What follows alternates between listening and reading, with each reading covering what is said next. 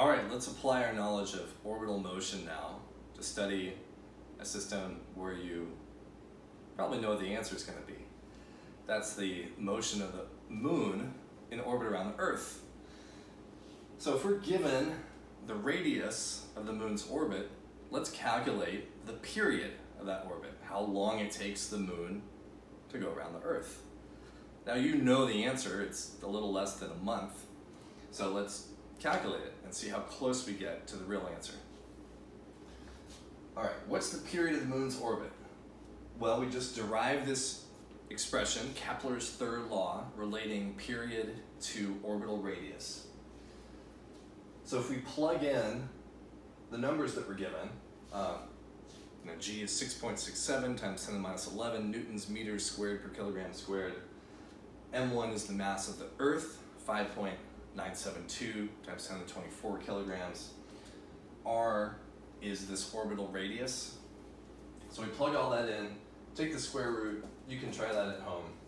You get 2.38 times 10 to the 6 seconds. Uh, and that probably doesn't feel very intuitive, so let's turn it into days.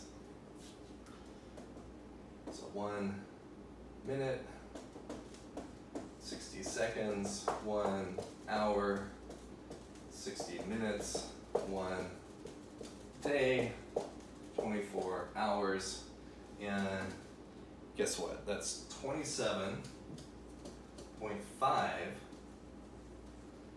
days. Now the actual value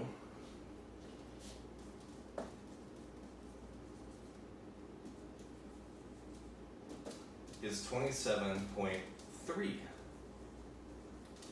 days.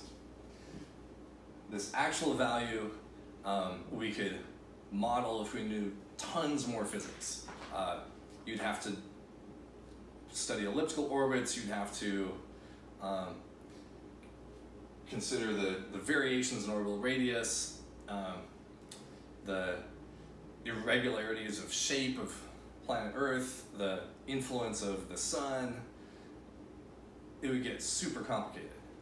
But we were able to use just physics 6 level physics and get remarkably close to the actual value.